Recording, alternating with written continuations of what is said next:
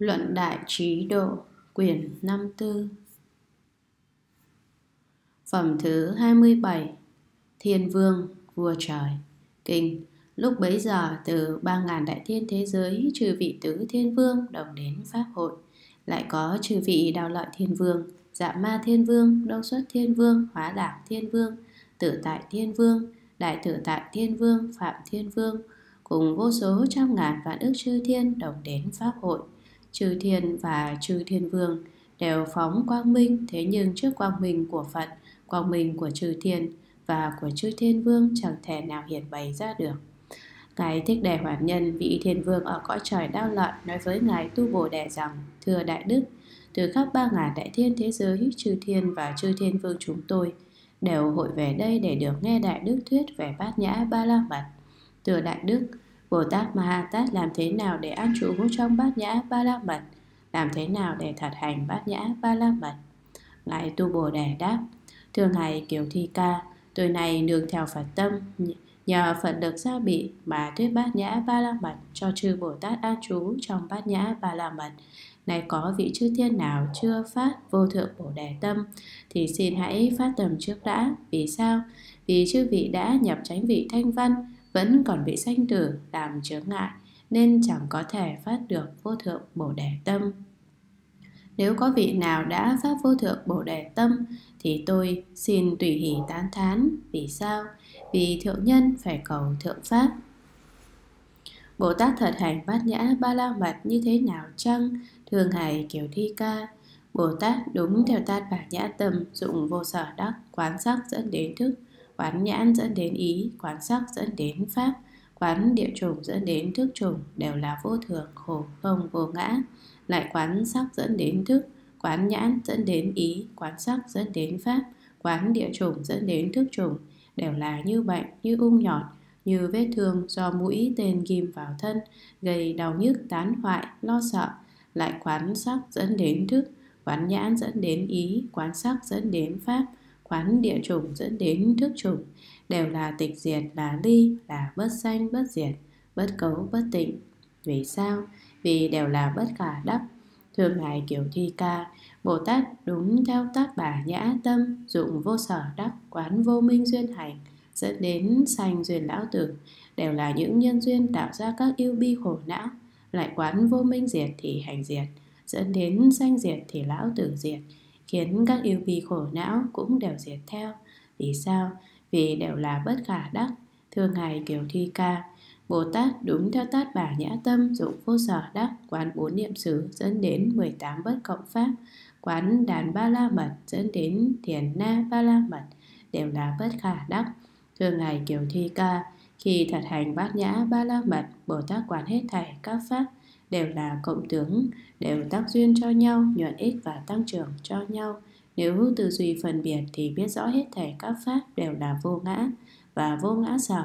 Thưa Ngài Kiều Thi Ca, tâm hồi hướng chẳng phải là tâm vô thượng Bồ Đề.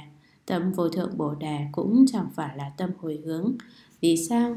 Vì ở nơi tâm vô thượng Bồ Đề thì tâm hồi hướng là bất khả đắc. Ở nơi tâm hồi hướng thì tâm vô thượng Bồ Đề là bất khả đắc. Bồ Tát tuy quán hết thảy các pháp mà biết rõ hết thảy các pháp đều là bất khả đắc cả. Như vậy gọi là Bồ Tát Ma Ha Tát, thật hành bát nhã ba la mật. Ngài Thích Đề Hoàn Nhân hỏi, Thưa Ngài Đại Đức, vì sao tâm hồi hướng chẳng phải là tâm vô thượng Bồ Đề? Tâm vô thượng Bồ Đề chẳng phải là tâm hồi hướng. Vì sao ở nơi tâm vô thượng Bồ Đề thì tâm hồi hướng là bất khả đắc? Ở nơi tâm hồi hướng thì tâm vô thượng Bồ Đề là bất khả đắc. Ngài Tu Bồ Đề đáp, thưa Ngài Kiều Thi Ca, tâm hồi hướng và tâm vô thượng Bồ Đề là phi tâm, chẳng phải tâm, phi tâm tướng, chẳng phải tâm tướng. Ở nơi phi tâm tướng chẳng có hồi hướng phi tâm tướng được, phi tâm tướng chẳng phải tâm tướng, là bất khả tư nghỉ tướng, tướng chẳng thể nghĩ bàn, mà bất khả tư nghỉ tướng chính là bát nhã ba la mật tướng vậy.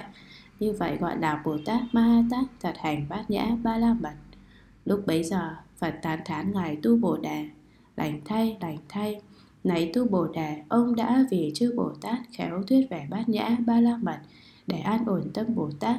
Ngài Tu Bồ Đề thưa, Bạch Thế Tôn, vì báo đền ơn Phật mà con đã vì chư Bồ Tát thuyết sáu pháp ba la mật nhằm khai thị lợi ích cho hết thảy chúng sanh. Bạch Thế Tôn trong quá khứ chư Phật cùng chư đại đệ tử đã nói sáu pháp ba la mật cho hàng Bồ Tát nghe, khiến họ vào được đạo vô thượng Bồ Đề. Hôm nay con cũng vì hàng Bồ Tát nói sáu pháp ba la mật, khai thị các lợi ích nhằm giúp họ vào được đạo vô thượng Bồ Đề. Luận hỏi, ở phẩm trước có nói đến Phật phóng quang minh và đã có nói trừ thiên nương theo ánh quang minh của Phật mà đến dự pháp hội. Nay vì sao còn nói nữa?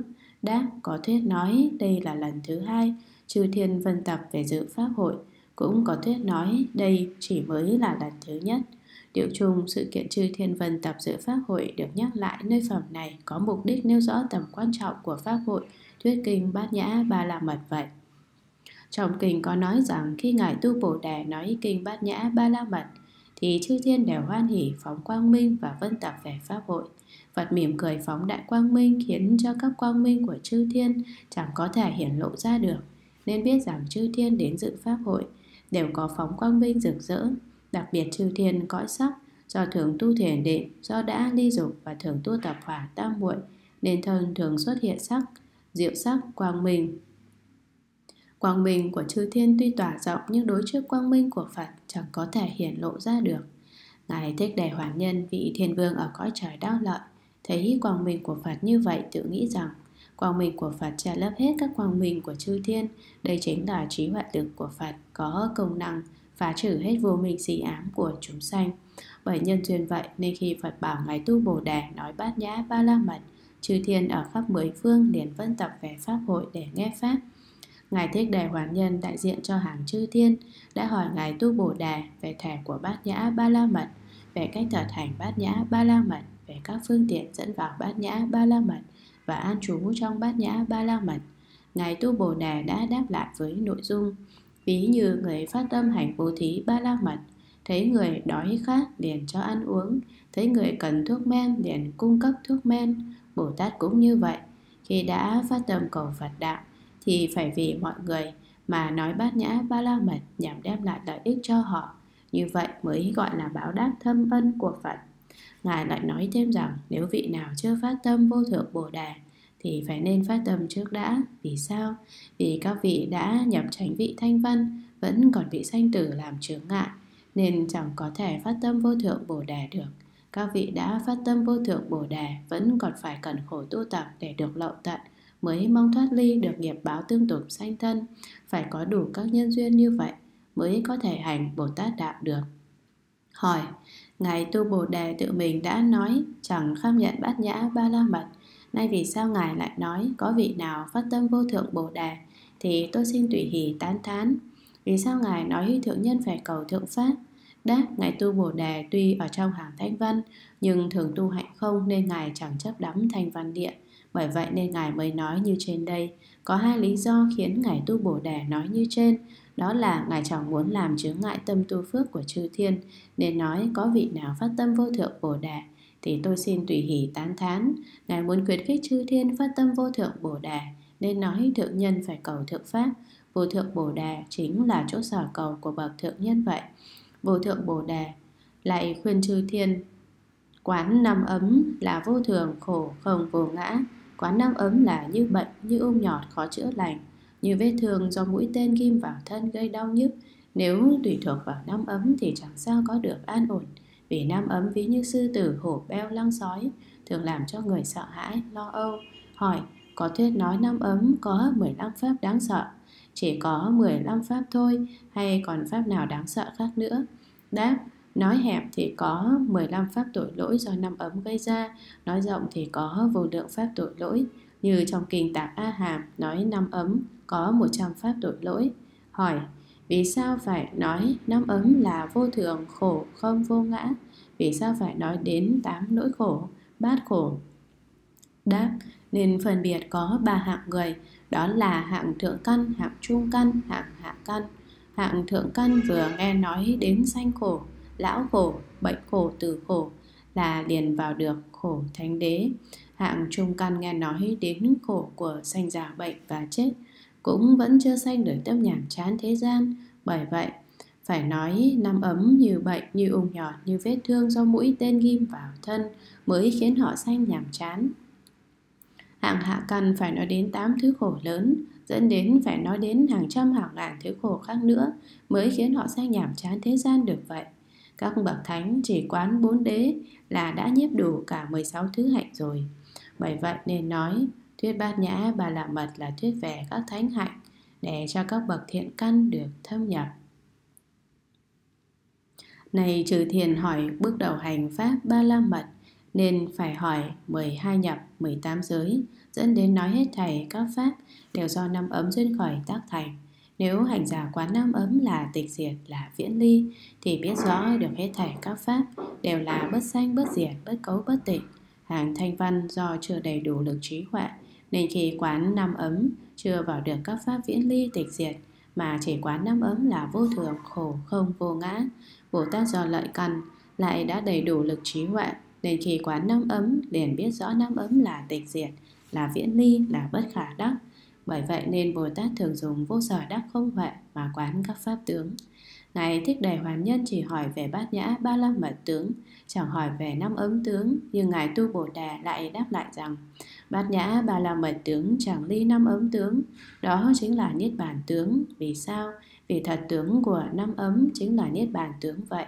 Đối với những người căn trí còn yếu kém, thì trước hết phải quán năm ấm là vô thường, khổ, không vô ngã, rồi sau đó mới quán năm ấm là viễn ly, là tịch diệt, là bất khả đắc quán các nhân duyên tác pháp khác cũng đều là như vậy cả. Sau đó, mới tu bốn niệm xứ dẫn đến tám thánh đạo, vân vân.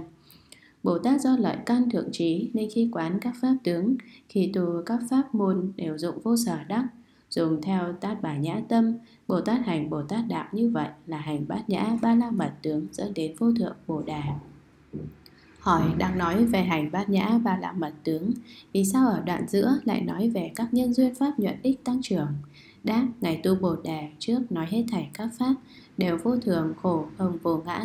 Sau mới nói hết thảy pháp đều viễn ly tịch diệt, tịch diệt, bất khả đắc. Ngài cũng nói hết thảy pháp đều rốt giáo không Nhưng do nhân duyên hòa hợp mà có. Ngài cũng nói về tu bốn niệm xứ, tám thánh đạo, 18 bất cộng pháp. Nói về hành Bồ Tát đạo để cho hết thảy chúng sanh thấy rõ ràng, tuy các pháp đều rốt ráo không, đều là vô ngã, vô sanh, nhưng do các duyên hòa hợp tác thành mà có bốn đại, có sáu thức, dẫn đến có hết thảy các pháp. Khi đã có bốn đại, có sáu thức rồi, thì mười pháp này có lực năng sanh, năng khởi, biến hóa do sơn hà vũ trụ.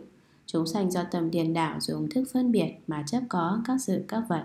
Có kẻ lầm tưởng rằng tất cả các sự vật đều do một vị chủ tể nào đó tạo lập ra, mà chẳng biết rằng các sự các vật từ núi cao rừng rậm đến ruộng vườn cây cỏ, vân vân, dẫn đến sắc thân của chúng sanh, cũng do bốn đại bốn đại tạo sắc và sáu thức tạo thành mà có đi đứng nằm ngồi nói năng, vân vân. Ví như nhà viễn thuật hóa tác ra nào người nào vật, trên sân khấu khiến người xem lầm tưởng là thật có.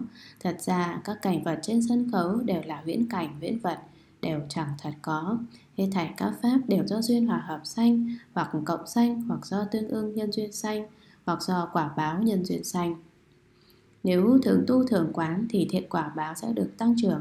Ví như gieo hạt giống đúng thời tiết, Có đầy đủ phân bón nước tưới, Lại chăm sóc chu đáo Thì cây sẽ được xanh tốt, Sẽ đơm hoa kết trái. Cũng như vậy, Người tu hành dùng lực trí hoại quán hết thảy các pháp đều như viễn như hóa đều chẳng có chủ tác nên dõng mãnh phát tâm cầu đạo vô thượng. Tuy này mới phát tâm, nhưng chắc chắn về sau sẽ được đạo vô thượng bồ đề vậy. Hỏi, nếu nói tâm hồi hướng chẳng có trong tâm vô thượng bồ đề thì tâm ấy là như thế nào? Đáp khi đã vào trong bát nhã ba la mật rồi thì biết rõ hết thảy các pháp đều là phi thường tướng, chẳng phải tướng thường, phi vô thường tướng chẳng phải tướng vô thường, phi hữu tướng chẳng phải tướng có, vì vô tướng chẳng phải tướng không? Như vậy chẳng nên nạn vấn về tướng của tâm hồi hướng làm gì nữa. Hỏi tâm đã chứng diệt thì làm sao phát được tâm vô thượng bồ đề? Lại nữa nếu hết thảy các pháp đều chẳng sanh chẳng diệt Cũng chẳng phải chẳng sanh chẳng phải chẳng diệt Thì làm sao có thể phát được tâm vô thượng bồ đề? Và như vậy phải hồi hướng tâm về đâu? Đáp Phật dạy Bồ đề tướng chẳng phải ở vị lai, chẳng phải ở hiện tại. Như trong phẩm như tướng Phật dạy, quá khứ chẳng giỏi vị lai, vị lai chẳng giỏi hiện tại. Vì sao? Vì là nhất như là chẳng phải hai, chẳng phải khác vậy. Bởi vậy nên nói tâm vô thượng Bồ Đề chẳng có trong tâm hồi hướng, tâm hồi hướng cũng chẳng có trong tâm vô thượng Bồ Đề. Cả hai tâm ấy đều là bất khả đắc cả, chẳng nên nạn vấn, phải hồi hướng tâm về đâu làm gì nữa. Lại nữa khi nghe tán thán Phật đạo, Bồ Tát liền phát tâm làm các công đức và hồi hướng hết thảy các công đức về Phật đạo. Bởi vậy nên Bồ Tát làm hết thảy các công đức chẳng bao giờ ngưng nghỉ. Bồ Tát lại thường dụng tâm như huyễn, tâm vô sở đắc khi hành các pháp. Như vậy mới gọi là Bồ Tát hành bát nhã ba la mật. Vì sao? Vì Bồ Tát biết rõ hết thảy các pháp đều do các duyên hòa hợp sanh, chẳng có định tướng nên chẳng thủ chấp các pháp tướng, cũng chẳng thủ chấp tâm chứng diệt vậy. Bởi vậy khi nghe Ngài Thích đại Hoàn Nhân nêu lên câu hỏi Vì sao nói tâm vô thượng Bồ Đề chẳng có tâm hồi hướng Và tâm hồi hướng cũng chẳng có trong tâm vô thượng Bồ Đề Thì Ngài tu Bồ Đề chẳng dùng thế đế để trả lời Mà Ngài phải dùng đệ nhất nghĩa đế Ngài tu Bồ Đề nói cả hai tâm đều là không, là phi tâm tướng, là chẳng có tâm tướng. Vì sao? Vì các pháp tướng rốt ráo là không, trong tánh không chẳng có tướng tâm nên là phi tâm tướng. Hết thảy các pháp đều là không, là vô tướng. Như vậy nếu nói đến hồi hướng thì phải đề cập đến hai pháp đối đãi như xe chạy từ hướng Nam nghỉ ở hướng Tây rồi quay trở về hướng Nam thì mới gọi là hồi hướng được. Nếu xe chẳng thật có, phương cũng chẳng thật có thì cũng chẳng thật có hồi hướng vậy. Cũng như vậy, vì tâm là bất khả đắc, vô thượng Bồ Đề cũng là bất khả đắc, thì tâm hồi hướng về vô thượng Bồ Đề cũng là bất khả đắc. Ngài Tu Bồ Đề nói rằng tâm là thường trú, là bất sanh bất diệt, là phi tâm tướng, là bất khả tư nghỉ tướng. Đã là bất khả tư nghỉ tướng thì chẳng thể tư duy chủ lượng, chẳng thể chấp thủ tướng tâm được vậy.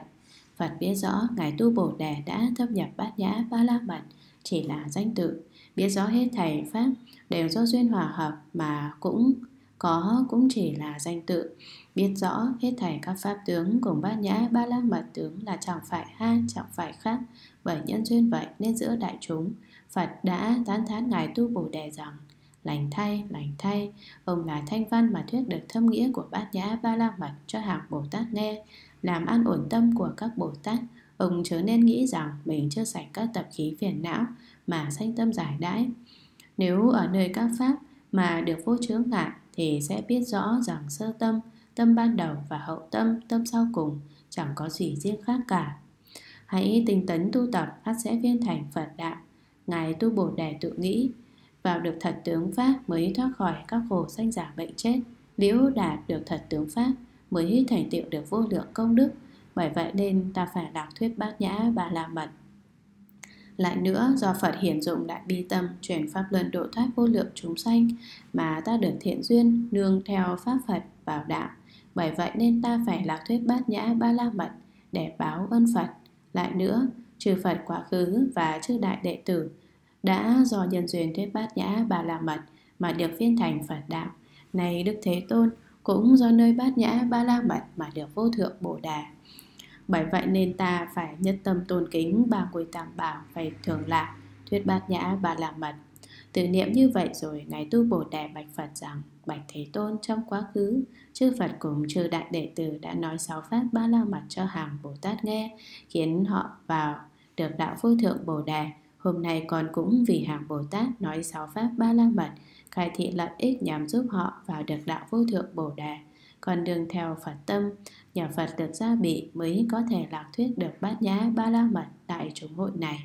Cũng nên biết, bà ngồi tam bảo mà Ngài Tu Bồ Đề nói trên đây là Phật bảo gồm chư Phật quá khứ hiện tại vị lai, Pháp bảo gồm sáu Pháp ba la mật, Tăng bảo gồm chư vị đại đệ tử của chư Phật và chư vị Bồ Tát, sáu Pháp ba la mật là diệu Pháp khai thị cho chúng sanh được thoát ly sanh tử. Bồ Tát phân biệt nói về sáu Pháp ba la mật nhằm giáo hóa chúng sanh xả ác hành thiện, dìu dắt chúng sanh tu hành nhằm viễn ly các khổ. Người nghe được bát nhã ba la mật, dù ở hiện đời chưa được Phật đạo nhưng quyết định về sau sẽ được Phật đạo vậy. Bồ Tát tán thán người tu tập bát nhã ba la mật nhằm khuyến tấn họ mau thành Phật đạo. Tóm lại, Bồ Tát hành đầy đủ sáu pháp ba la mật, đệ tử trang nghiêm, thuyết giảng sáu pháp ba la mật nhằm đem lại lợi ích cho chúng sanh vậy. Kinh Lúc bấy giờ Ngài Tu Bồ Đề nói với Ngài Thích Đề Hoàn Nhân rằng Thường ngày kiểu thi ca Ngài có biết rõ Bồ Tát hành bát nhã, ba la mật phải nên chú và chẳng nên chú như thế nào chăng? Thế nào là nên chú? Thưa Ngài kiểu thi ca. Khi hành bát nhã, ba la mật Bồ Tát biết rõ sắc là không, Dẫn đến thức là không. Biết rõ Bồ Tát cũng là không Bồ Tát lại biết rõ sắc không, Dẫn đến thức không. Và Bồ Tát không là chẳng phải hai, chẳng phải khác. Bồ Tát Ma Tát khi hành bát nhã, ba la mật nên chú như vậy. Bồ Tát biết rõ nhãn dẫn đến ý, sắc dẫn đến pháp, địa chủng dẫn đến thức chủng là không, biết rõ Bồ Tát cũng là không. Bồ Tát lại biết rõ nhãn không dẫn đến ý không, sắc không, dẫn đến pháp không, địa chủng không, dẫn đến thức chủng không và Bồ Tát không là chẳng phải hai chẳng phải khác. Bồ Tát biết rõ vô minh dẫn đến lão tử, vô minh diệt, dẫn đến lão tử diệt là không, biết rõ Bồ Tát cũng là không, lại biết rõ vô minh không, vô minh diệt không, dẫn đến lão tử không, lão tử diệt không và Bồ Tát không là chẳng phải hai, chẳng phải khác. Bồ Tát Ma Ha Tát khi hành bát nhã ba la mật nên trú như vậy. Đối với đàn ba la mật dẫn đến bát nhã ba la mật, nội không dẫn đến vô pháp hữu pháp không, bốn niệm xứ dẫn đến 18 bất cộng pháp, hết thảy các ta muội, hết thảy các đà la ni, thanh văn thừa, bích chi Phật thừa, Phật thừa, Bồ Tát cũng biết rõ như vậy. Thưa Ngài Kiều Thi Ca, Bồ Tát Ma Tát khi hành bát nhã ba la mật nên chú như vậy. Thế nào là chẳng nên chú? Thưa Ngài Kiều Thi Ca, khi hành bát nhã ba la mật, Bồ Tát chẳng nên chú trong sắc, dẫn đến chẳng nên chú trong thức, chẳng nên chú trong nhãn, dẫn đến chẳng nên chú trong ý, chẳng nên chú trong sắc, dẫn đến chẳng nên chú trong pháp, chẳng nên chú trong nhãn thức, dẫn đến chẳng nên chú trong ý thức, chẳng nên chú trong nhãn xúc, dẫn đến chẳng nên chú trong ý xúc, chẳng nên trú trong nhãn xúc nhân duyên sanh thọ, dẫn đến chẳng nên trú trong ý xúc nhân duyên sanh thọ. Vì sao? Vì trú như vậy là có sở đắc. Bồ Tát chẳng nên trú trong đàn ba la mật, dẫn đến chẳng nên trú trong bát nhã ba la mật, chẳng nên trú trong bốn niệm xứ, dẫn đến chẳng nên trú trong 18 bất cộng pháp. Vì sao? Vì trú như vậy là có sở đắc. Bồ Tát chẳng nên trú trong thanh văn đạo, bích chi Phật đạo, Bồ Tát đạo, Phật đạo, dẫn đến chẳng nên trú trong nhất thiết chủng trí vì sao? Vì chú như vậy là có sở đắc Lại nữa, thưa Ngài Kiều Thi Ca, Dù sắc dẫn đến thức là thường là vô thường, Là lạc là khổ, là tịnh là bất tịnh, Là ngã là vô ngã, Là không là bất không, Là tịch diệt là bất tịch diệt, Là ly là bất ly, Bồ Tát cũng đều chẳng nên chú Vì sao? Vì chú như vậy là có sở đắc lại nữa, thưa Ngài Kiều Thi Ca, ở nơi vô vi tướng của quả vị Tu Đà Hoàn dẫn đến ở nơi vô vi tướng của quả vị Phật. Ở nơi phước điển Tu Đà Hoàn dẫn đến ở nơi phước điển Phật, Bồ Tát cũng đều chẳng nên chú. Vì sao? Vì chú như vậy là có sở đắc. Từ sơ địa dẫn đến thập địa, Bồ Tát cũng đều chẳng nên chú. Vì sao? Vì chú như vậy là có sở đắc. Lại nữa, thưa Ngài Kiều Thi Ca, Từ sơ phát tâm, Bồ Tát nói, ta phải đầy đủ đàn ba la mật, dẫn đến đầy đủ bát nhã ba la mật. Ta phải vào bồ tát vị ta phải vào bất thối chuyển điện ta phải đầy đủ năm thần thông. Bồ tát nói, mà chẳng nên chú, vì sao? Vì chú như vậy là có sở đắc. Bồ tát nói, ta sẽ được đầy đủ năm nhãn, được hết thảy các đà la ni môn, hết thảy các tam muội môn. Ta sẽ được đầy đủ mười lực, bốn vô sở úy, bốn vô ngại trí 18 bất cộng pháp. Ta sẽ đầy đủ đại từ đại bi, ta sẽ đầy đủ ba hai tướng tốt. Bồ Tát nói, mà chẳng nên chú, Vì sao? Vì chú như vậy là có sở đắc. Bồ Tát nói, ta sẽ trang nghiêm quốc độ của ta như các quốc độ của chư Phật. Ta sẽ thành tựu chúng sanh, Khiến họ vào được Phật đạo. Ta sẽ đi đến vô lượng cõi Phật, Để tan thán và cúng dường chư Phật. Ta sẽ độ vô lượng chúng sanh, Khiến họ phát tâm vô thượng Bồ Đề. Bồ Tát nói, mà chẳng nên chú. Vì sao? Vì chú như vậy là có sở đắc. Bồ Tát nói, ta sẽ ở trong tám hạng người tiến hành và pháp hành. Ta sẽ là tu đà hoàn, bảy phen sanh lại. Ta sẽ là tu đà hoàn khi mạng chung được sạch phiền não Trung gian nhập niết bàn. Ta sẽ là tu đà hoàn hướng, Từ đà hàm quả trứng. Ta sẽ là tư đà hàm nhất la nhập niết bàn. Ta sẽ là tư đà hàm hướng ana hàm quả trứng. Ta sẽ là ana hàm nhất la nhập niết bàn. Ta sẽ là ana hàm hướng a la hán quả trứng. Ta sẽ là a la hán nhập vô dư niết bàn. Bồ tát nói, mà chẳng nên chú vì sao? Vì chú như vậy là có sở đắc Bồ Tát nói ta sẽ là Bích Chi Phật, ta sẽ trú Bồ Tát Điện, vượt hơn hàng thanh văn Bích Chi Phật, ta sẽ được đạo trùng trí, sẽ được nhất thiết trùng trí, sẽ đắc vô thượng Bồ Đề, sẽ truyền Pháp Luân, sẽ hành Phật sự, sẽ độ vô lượng chúng sanh. Bồ Tát nói mà chẳng nên trú, vì sao? Vì chú như vậy là có sở đắc. Bồ Tát nói ta sẽ đầy đủ bốn như ý túc, sẽ trú trong các tam muội, sẽ thọ hàng xa kiếp, sẽ đầy đủ ba hai tướng tốt, mỗi tướng có đủ 100 phước đức trang nghiêm. Bồ Tát nói mà chẳng nên chú, vì sao? Vì chú như vậy là có sở đắc. Bồ Tát nói thế giới của ta hàng xa thế giới trong đại thiên thế giới của ta ở khắp trong mười phương sẽ thuần là kim cương cây bồ đề của ta sẽ phát ra vô lượng diệu hương khiến chúng sanh nào hưởng được sẽ dứt sạch thân bệnh và tâm bệnh dứt sạch tham sân si chẳng có tâm thành văn và biết chi phật và sẽ được vô thượng bồ đề, bồ tát nói mà chẳng nên chú. Vì sao? Vì chú như vậy là có sở đắc. Bồ tát nói trong thế giới của ta sẽ chẳng có danh tự sắc dẫn đến thức, chẳng có danh tự đàn ba la mật dẫn đến bát nhã ba la mật, chẳng có danh tự bốn niệm xứ dẫn đến 18 bất cộng pháp, chẳng có danh tự tu đà hoàn dẫn đến phật. Bồ tát nói mà chẳng nên chú. Vì sao? Vì chú như vậy là có sở đắc. Vì chư phật đắc vô thượng bồ đề mà vô thượng bồ đề là pháp vô sở đắc vậy Thường Ngài Kiều Thi Ca, bởi vậy nên Bồ Tát hành bát nhã ba la mật chẳng nên chú, vì bát nhã ba la mật là vô sở đắc vậy. Lúc bấy giờ Ngài Giá Lợi Phất tự niệm rằng, như vậy thì Bồ Tát hành bát nhã ba la mật an trú nơi đâu? Ngài Tu Bồ Đề hỏi, theo ý của Ngài thì chư Phật an trú nơi đâu? Ngài Giá Lợi Phất đáp, Chư Phật trú nơi vô sở trú, chư Phật chẳng trú trong sắc, dẫn đến chẳng trú trong thức, chẳng trú trong pháp hữu vi, chẳng trú trong pháp vô vi, chẳng trú trong bốn niệm xứ, dẫn đến chẳng trú trong 18 bất cộng pháp, chẳng trú trong nhất thiết chủng trí. Ngài Tu Bồ Đề nói, từ Ngài Xá Lợi Phất, khi thật hành bát nhã ba la mật, Bồ Tát Ma Tát phải an trú như chư Phật, có nghĩa là an trú nơi pháp phi trú, chẳng trú, cũng chẳng phải chẳng trú vì bất trú. Khi thật hành bát nhã ba la mật, Bồ Tát Ma Tát phải học như vậy, phải an trú nơi pháp vô sở trú. Luận Khi hành bát nhã ba la mật, Bồ Tát dùng 18 không, quả rõ năm ấm đều là không. Phạm phu điên đảo chấp có năm ấm tướng, có Bồ Tát tướng. Khi hành bát nhã ba la mật, Bồ Tát biết rõ chúng sanh là không, nên chẳng thấy có Bồ Tát tướng. Lại biết rõ các pháp đều không, nên chẳng có năm ấm tướng. Bởi vậy nên nói năm ấm không và Bồ Tát không là chẳng phải hai, chẳng phải khác, dẫn đến nhất thiết chủng trí cũng là như vậy. Ví như trên đàn là một loại cây gỗ rất quý, rất thơm mà người ta thường đốt lấy hương cúng Phật, lại có được tánh cao thường dùng làm thuốc trị bệnh. Thế nhưng sau khi một cây trên đàn và một cây gỗ tạm bị lửa thiêu rụi hủy diệt rồi thì hai pháp ấy chẳng còn khác nhau nữa. Lúc bấy giờ hai pháp diệt đó là chẳng phải hai, chẳng phải khác vậy. Người vô trí chấp các pháp tướng ở thời kỳ chưa bị hủy diệt và ở thời kỳ bị hủy diệt rồi có khác nhau. Thế nhưng khi đã bị hủy diệt rồi thì các pháp chẳng còn khác nhau nữa. Bởi nhân duyên vậy nên kinh dạy chẳng nên trú. Đây là nói chẳng nên trú nơi năm ấm tướng vậy. Hỏi, nói về nghĩa trú là đủ rồi, sao còn nói nghĩa bất trú làm gì nữa? Đáp ở nơi năm ấm mà chẳng sanh tâm chấp đắm thì đó nghĩa là bất trú vậy.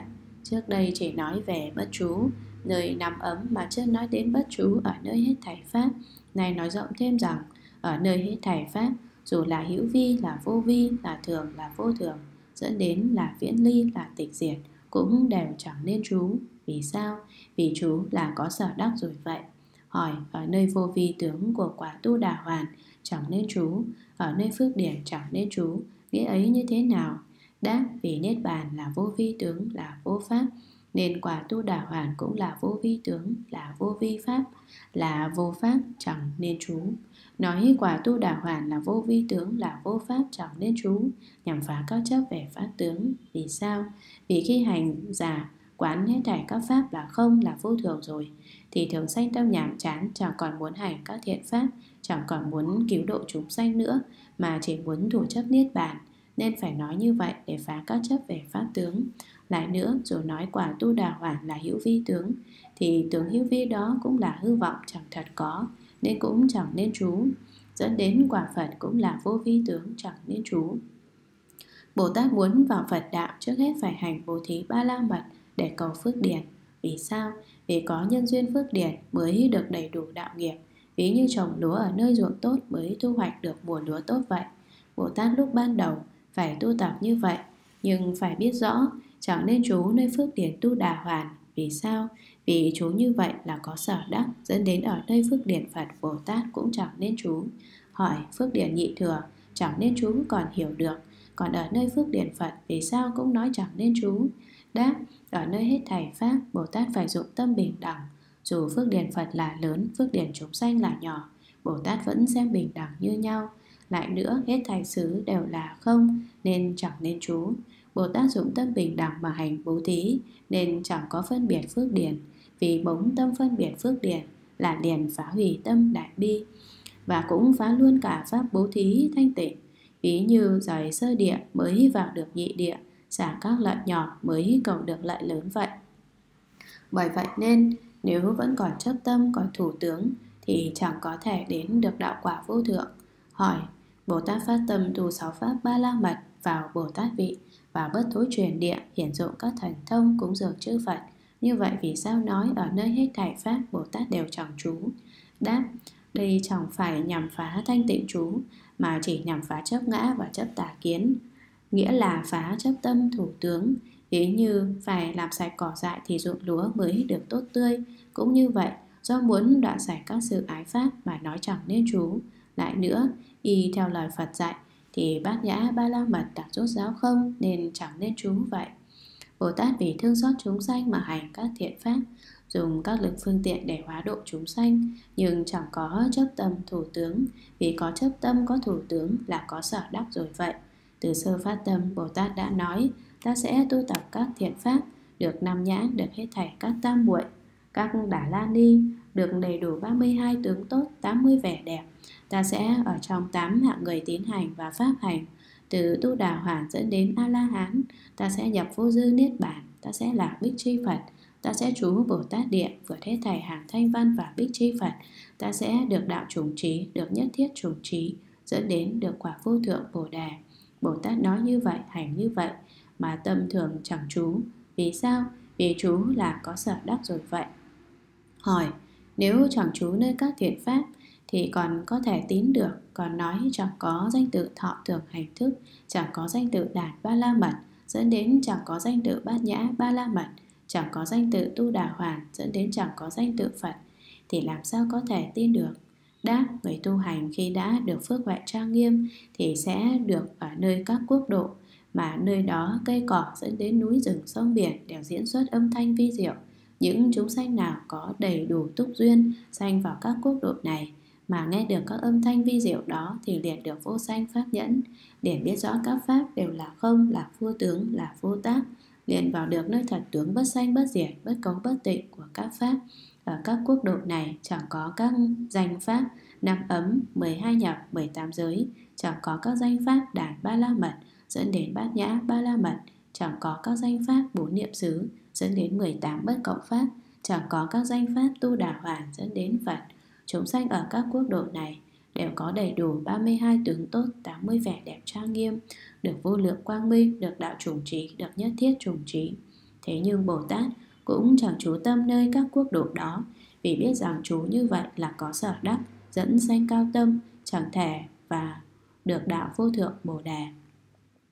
Ngài Tu Bồ Đề nói, do nhân duyên bất chú mà chư Phật được đạo, khi đã được đạo rồi thì biết rõ các pháp đều là vô sở chú cả. Ngài Xá Lợi Phất nghe như vậy tự niệm rằng nếu các pháp đều là vô sở chú thì phải chú nơi đâu để được đạo. Ngài Tu Bồ Đề biết tâm niệm của Ngài Xá Lợi Phất nên đã nói với Ngài Xá Lợi Phất rằng chư Bồ Tát đều là pháp tử của Phật. Đã là pháp tử thì phải giống pháp sư. Phật thường hành vô sở chú pháp, chẳng chú nơi sắc dẫn đến chẳng chú nơi thức, chẳng chú nơi nhãn dẫn đến chẳng chú nơi ý chẳng chú nơi sắc dẫn đến chẳng chú nơi pháp chẳng chú nơi đạt ba la mật dẫn đến chẳng chú nơi bát nhã ba la mật chẳng chú nơi bốn niệm xứ dẫn đến chẳng chú nơi 18 bất cộng pháp chẳng chú nơi hết thảy tam muội nơi hết thảy các đà la ni dẫn đến chẳng chú nơi nhất thiết trùng trí bồ tát thật hành bát nhã ba la mật phải dụng tâm vô sở đắc như chư phật vậy ở nơi hết thảy các pháp, Chẳng chú cũng chẳng phải chẳng chú mới gọi là phút do chú Được như vậy thì tâm mới thật rốt ráo thanh tịnh. Bồ Tát thật hành bát nhã ba la mật, phải đương theo Phật tâm mà tu tập như vậy. Kinh, lúc bấy giờ trong Pháp hội có vị thiên tử tự nghĩ rằng ngữ ngôn danh tự của hàng dạ xoa còn có thể biết được. Này Đại Đức Tu Bồ Đề dùng ngữ ngôn danh tự rõ ràng để thuyết giảng bát nhã ba la mật, nhưng sao tôi chẳng hiểu chẳng biết gì cả vậy? Ngài Tu Bồ Đề biết rõ tâm niệm của vị thiên tử, bèn hỏi rằng Ngài thật chẳng hiểu chẳng biết gì cả hay sao? Vị thiên tử đáp, thưa Đại Đức chúng tôi thật chẳng hiểu chẳng biết gì cả. Ngài Tu Bồ Đề đáp, thưa trừ vị thiên tử, thật tướng các pháp là bất khả tri, chẳng thể biết. Tôi chẳng luận nghị, chẳng nói ra một lời nào cả, dẫn đến cũng chẳng có người nghe. Vì sao?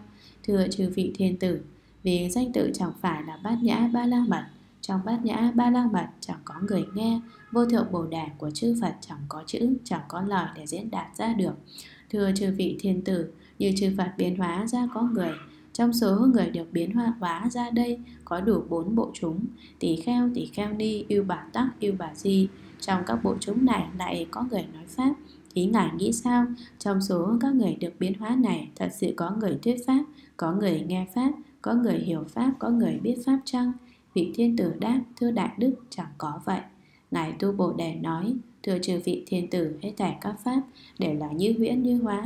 Bởi vậy nên ở nơi các pháp đều chẳng có người nói, chẳng có người nghe, chẳng có người hiểu, chẳng có người biết vậy. Thưa chư vị thiên tử, ví như có người nằm mộng thấy có Đức Phật đang thuyết pháp, ý các ngài nghĩ sao? Ở trong cảnh mộng ấy thật sự có người thuyết pháp, có người nghe pháp, có người hiểu pháp, có người biết pháp chăng? Vị thiên tử đáp, thưa đại đức chẳng có vậy. Ngài Tu Bồ Đề nói, thưa chư vị thiên tử, hết thảy các pháp đều như mộng, nên ở nơi các pháp chẳng có người thuyết, chẳng có người nghe, chẳng có người hiểu, chẳng có người biết vậy.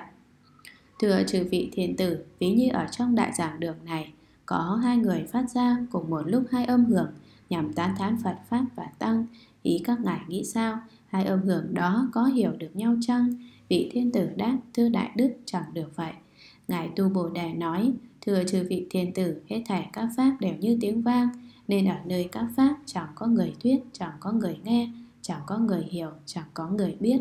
Thưa chư vị thiên tử, ví như có nhà huyễn thuật ở giữa ngã tư đường hóa làm Phật và hóa tác ra bốn bộ chúng, rồi ở trong đó thuyết pháp. Ý các ngài nghĩ sao? Trong viễn cảnh đó thật sự có người thuyết pháp, có người nghe pháp, có người hiểu pháp, có người biết pháp chăng? Vị thiên tử đáp, thưa đại đức chẳng có vậy. Ngài Tu Bồ Đề nói, thưa trừ vị thiên tử hết thảy các pháp đều như huyễn, nên ở nơi các pháp chẳng có người thuyết, chẳng có người nghe, chẳng có người hiểu, chẳng có người biết. Lúc bấy giờ chư thiên tử nghĩ rằng, Ngài Tu Bồ Đề thuyết pháp chẳng những muốn làm cho chúng ta dễ hiểu, mà Ngài còn làm cho bài pháp càng thêm thâm diệu hơn nhiều.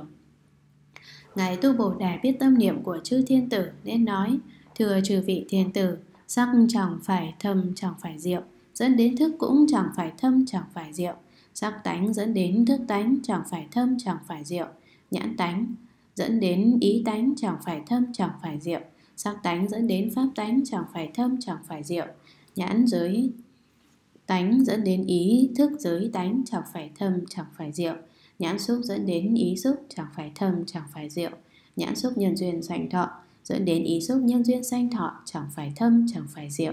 Thưa chư vị thiên tử, lại nữa, đàn ba la mật dẫn đến bát nhã ba la mật, nội không dẫn đến vô pháp hữu pháp không, chẳng phải thâm chẳng phải diệu.